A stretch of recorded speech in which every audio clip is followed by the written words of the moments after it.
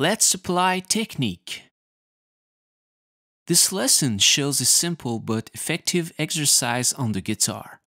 It's a variation on the Musicians Institute and Howard Roberts Applied Technique course. It's designed to increase your improvisational skills, but you need to take it as if you were training for a marathon. So let's see the steps and rules for this exercise.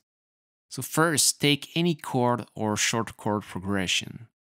2. Record a sustaining chord sound and a quarter note click. 3. Set the tempo for the day. 4. Play all the things you know over it, so scales, arpeggios, intervals, sequences, etc. 5. Only alternate picking, no rhythm. 6. This exercise is separated in three sections.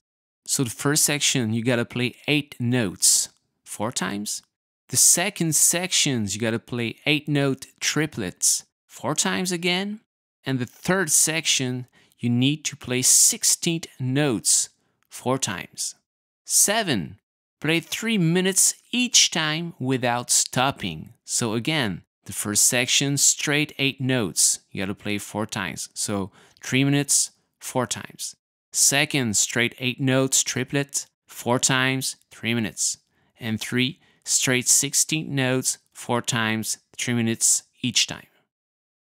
The last one, do it 6 days a week. Have fun!